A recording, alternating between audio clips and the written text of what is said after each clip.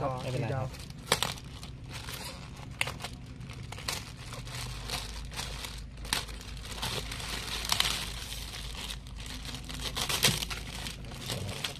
อะ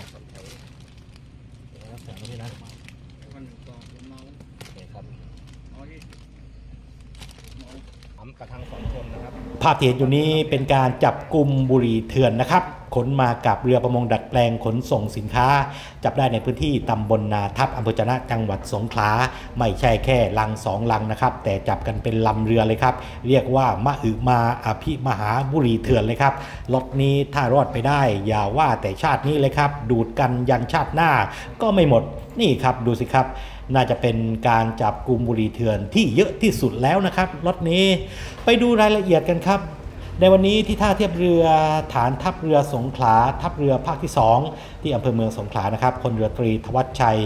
พิมพ์เมืองเสนาธิการทัพเรือภาคที่ 2 ซึ่งเป็นผู้แทนผู้บัญชาการทัพเรือภาคที่ 2 และผู้อำนวยการศูนย์อำนวยการรักษาผลประโยชน์ของชาติทางทะเลภาค 2 หรือว่าสอนชนภาค 2 นั่นแหละครับ ร่วมกับฝ่ายปกครองจังหวัดสงขลาเจ้าหน้าที่สรรพสามิตภาคที่ 9สำสำนักงานสรรพสามิตพื้นที่สงขลาและก็หน่วยสืบสวนปราบปรามสงขลา กรมศุลกากรนะครับ ร่วมกันแถลงข่าวผลการจับกลุ่ม โดยยึดบุหรี่เถื่อน ยี่ห้อที่คนชอบดูดกันแล้วครับ เห็นแล้วรู้จักครับ ถึง 1,000 ลังมูลค่า 31 ล้านบาทครับ แต่ถ้าคิดเป็นเงินค่าปรับนี่4,700 ล้านบาทครับ ฟังไม่ผิดครับ ฟังไม่ผิด 4,700 ล้านบาท มหาศาลแค่ไหน ถ้าหลุดไปได้ อันนี้นี่รัฐต้องเสียรายได้นะครับ ได้ผู้ต้องหา 15 คนครับ เรือประมงดัดแปลงขนาด 59.9 ตันกรอดหนึ่งลำ ชื่ออบุญเฉลิม แล้วก็รถกระบะตู้ทึบขนส่งสินค้าอีก 8 คัน จับได้ขณะเข้าเทียบท่า แล้วก็เตรียมลำเลียงขนขึ้นรถนะครับ เบื้องหน้าเบื้องหลังการจับกลุ่มบุหรี่เถื่อนรถนี้ เจ้าหน้าที่ชุดจับกลุ่มได้สืบทราบว่ามีเรือประมงดัดแปลงเป็นเรือขนถ่ายสินค้า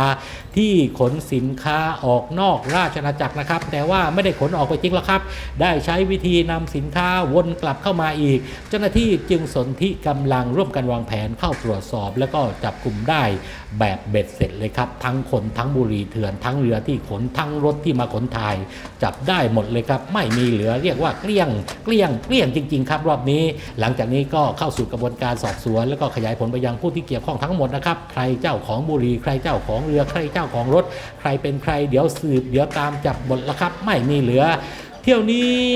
ทั้งศูนย์อำนวยการรักษาผลประโยชน์ของชาติทางทะเลภาค 2 ทัพเรือภาคที่ 2สัปะสานมิตรและก็ศุลกากรเข้า tag team จัดให้ชุดใหญ่เลยครับ เดี๋ยวไปฟังเสียงพลเรือตรีธวัชชัยพิมพ์เมืองเสนาธิการทัพเรือภาคที่ 2 บอกถึงการจับบุหรี่เถื่อนล็อตนี้ครับ เมื่อคืนนี้นะครับคือ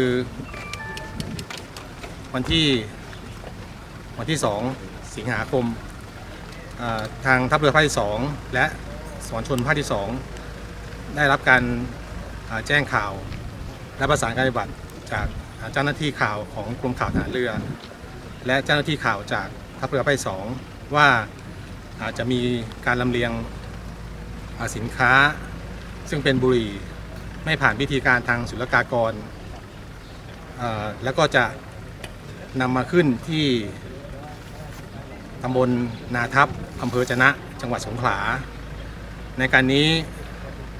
พลโทจรัดเกียรติชัยพันธ์ผู้จัดการทัพเรือภาคสองและผอสอนชนภาคสองจึงได้สั่งการให้ทางทัพเรือภาคสองและสอนชนภาคสองจัดกำลังประกอบด้วย